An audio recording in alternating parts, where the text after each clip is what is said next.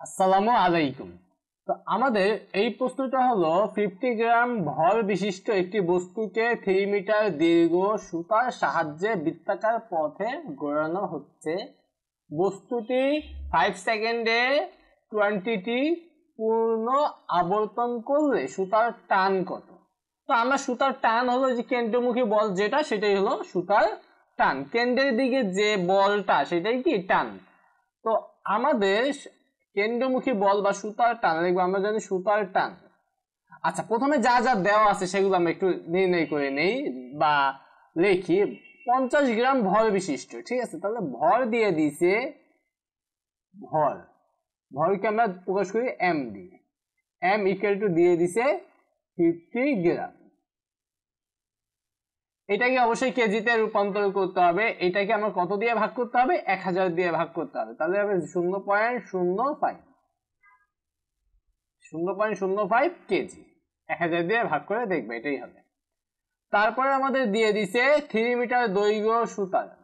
মানে সুতার যে দৈর্ঘ্যটা, থ্রি মিটার দীর্ঘ হবে।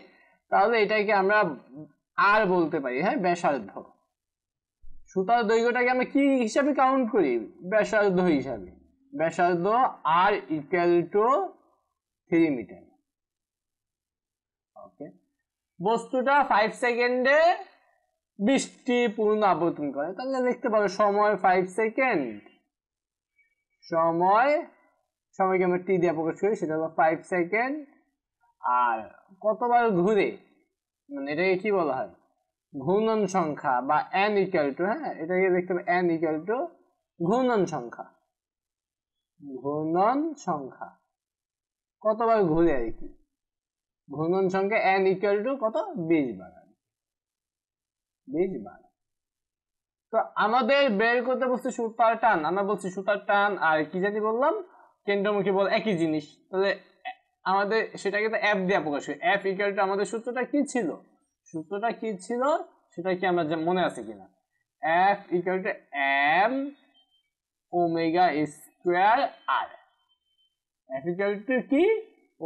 ওমেগা স্কোয়ার আর তো এই সূত্রটা আমাদের ব্যবহার করেই আমরা কি করতে পারব? এই সুতার টান বের করতে পারব। মানে সুতার টান F equal to M omega square R লিখব। কারণ এখানে সুতার টান লেখা আছে। যদি বলে কেন্দ্রমুখী বল, তখন কেন্দ্রমুখী এফ লিখব। সুতার টান লেখা আছে, আমরা সুতার টান এফ লিখব।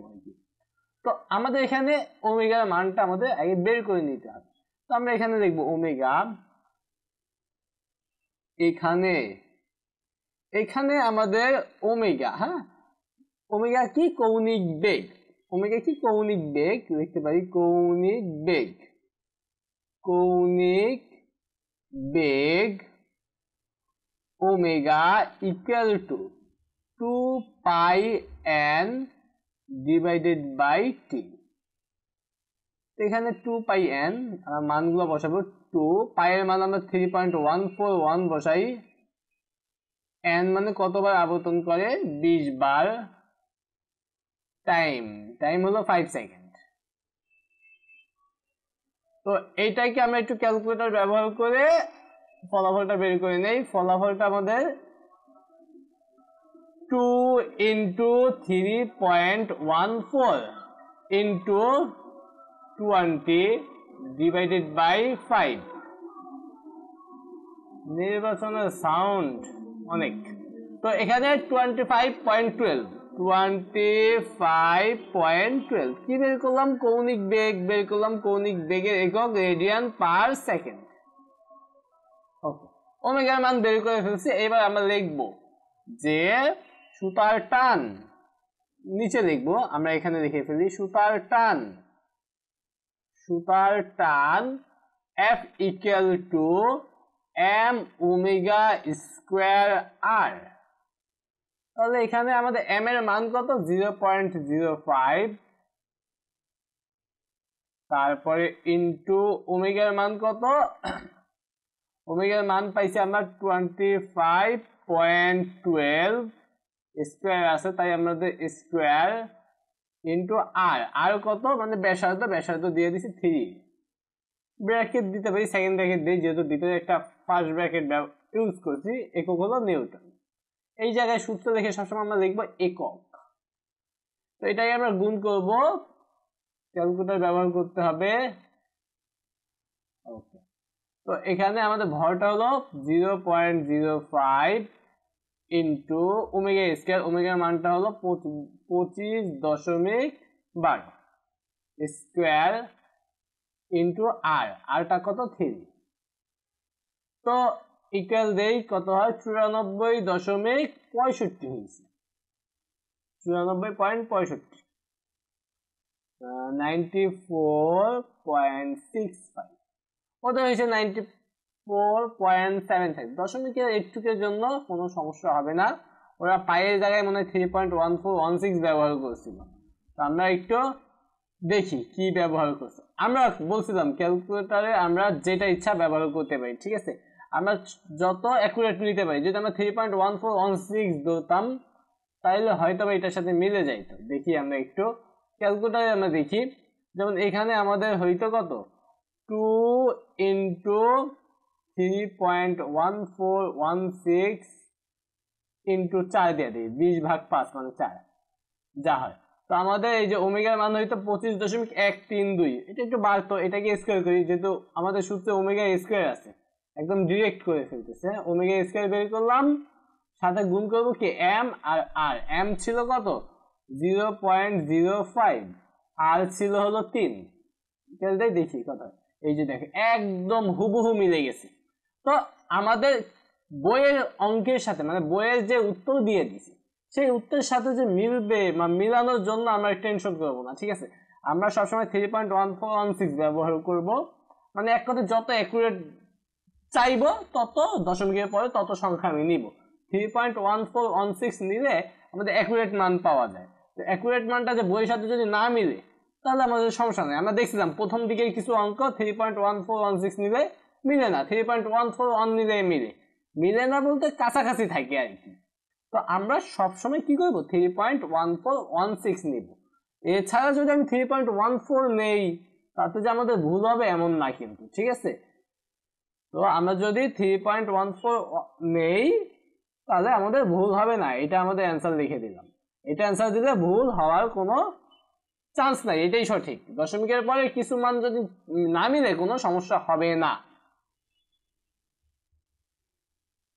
আমাদের এই প্রশ্নটা হবে একটি ইলেকট্রন পরমাণু নিউক্লিয়াসের চতুর্দিকে ওয়ান পয়েন্ট ওয়ান অ্যাংস্ট্রম ব্যাসার্ধ একটি বৃত্তাকার পথে four into ten to power six meter per second বেগে প্রদক্ষিণ করছে।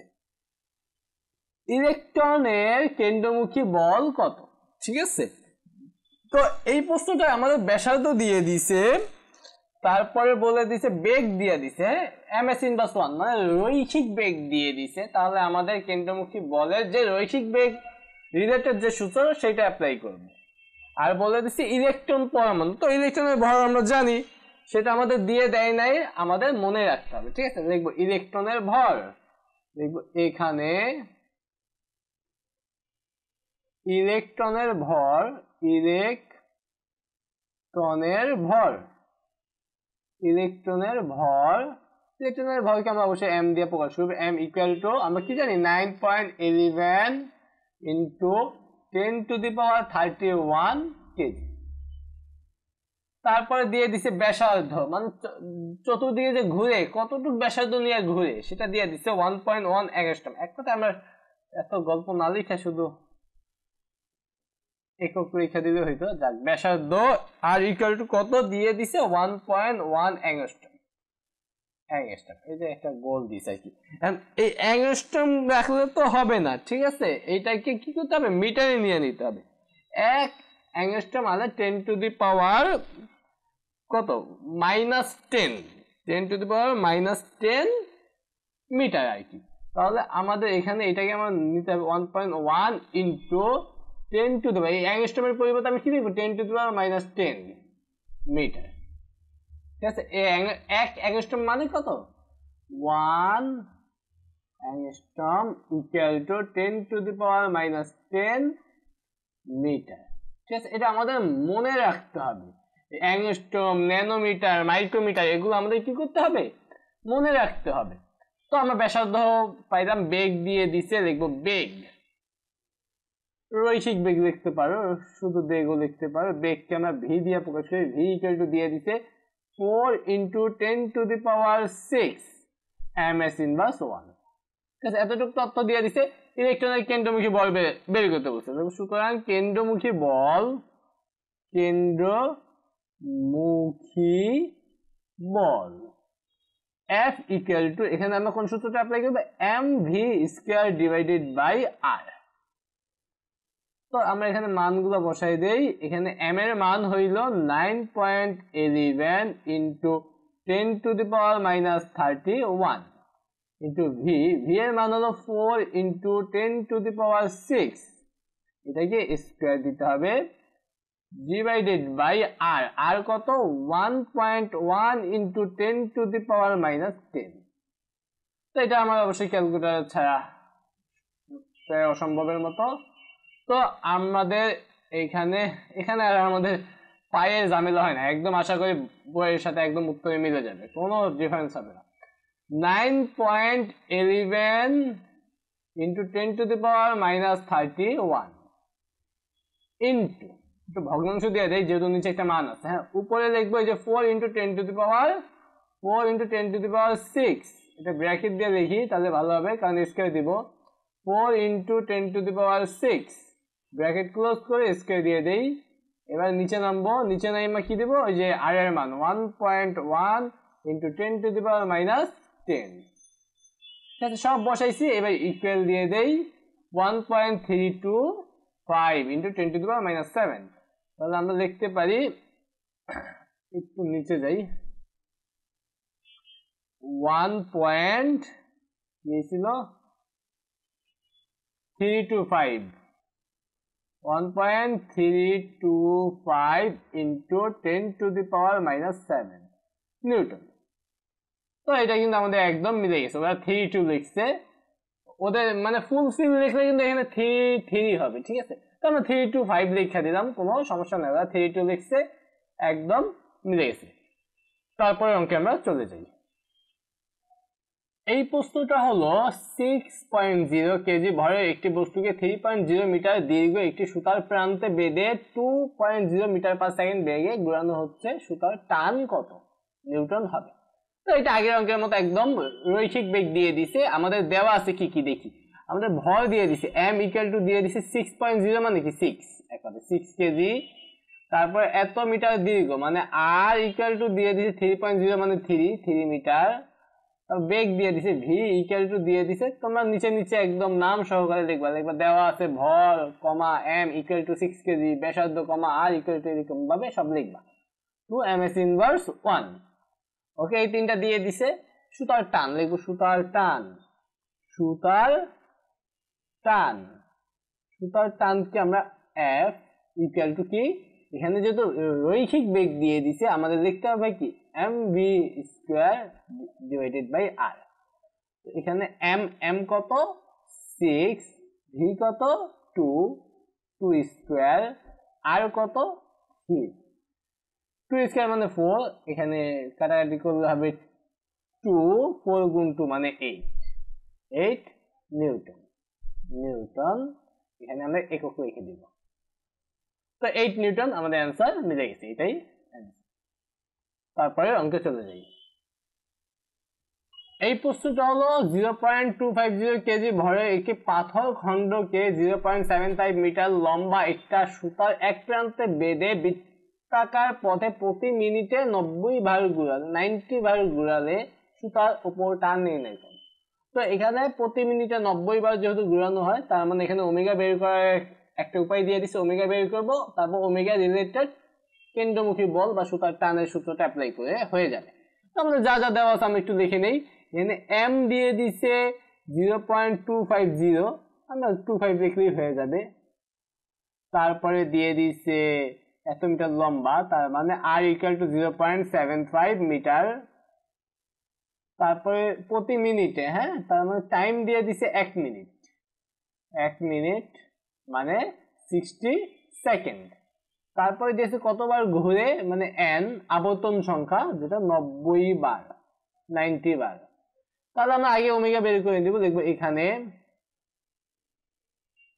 omega equal to two pi n divided by t তো এখানে টু পায়ের জায়গায় এবার three point one four one six নিব ঠিক আছে? একবার ওয়ান ফোর দিয়ে মিলে, একবার পুরাটা দিয়ে মিলে। তো এবার আমরা পুরাটা দিয়ে নিব, যা হবে মিললে মিলবো, না মিললে নাই আর কি। এন এর মান কত? নব্বই টাইম হলো সিক্সটি তো এখানে কাটাকাটি করা যায়। শূন্য শূন্য কাটা, দুই দিয়া ছয়ে কাটলে এখানে তিন তিন দিয়া নয়ে কাটলে এখানে তিন। তিন গুণ মানে থ্রি পাই হ্যাঁ? তো এটা হাতে কলমে করা যায়, তাও আমরা একটু ক্যালকুলেটর করি টাইমটা ওয়েস্ট না করি। Three into three point one four one six nine point four two four eight nine point four two four eight nine point four two four eight কি বের করলাম ওমেগা বের করলাম মানে রেডিয়ান পার সেকেন্ড তবে omega দিয়ে আমরা সুতার টান বের করব দেখব সুতার টান সুতার টান। সুতার এফ ইকুয়াল টু কি লিখব? M omega square r m এর মান হলো জিরো পয়েন্ট টু ফাইভ ওমেগার মান nine point four four eight square into r r কত? জিরো পয়েন্ট সেভেন ফাইভ ক্যালকুলেটারে বসাইতে হবে। ক্যালকুলেটারের সাহায্য নেই আমরা ওই ছিল, এটা অ্যান্সার তো ওমেগার মান ছিল হ্যাঁ? তাহলে ওমেগাকে তো স্কোয়ার করতে হবে। ওমেগাকে স্কোয়ার করি তারপর সাথে গুণ দিব পয়েন্ট টু ফাইভ গুণ পয়েন্ট সেভেন ফাইভ ষোলো দশমিক ছয় পাঁচ পাঁচ। আমরা দেখতে পাই ষোলো দশমিক ছয় পাঁচ পাঁচ। নিউটন। এটাকে চাইলে ষোলো দশমিক ছয় ছয় দেখা যায়, কোনো সমস্যা নাই। আমাদের অ্যান্সার মিলে গেছে। আশা করি তোমরা এটাও বুঝতে পারছ।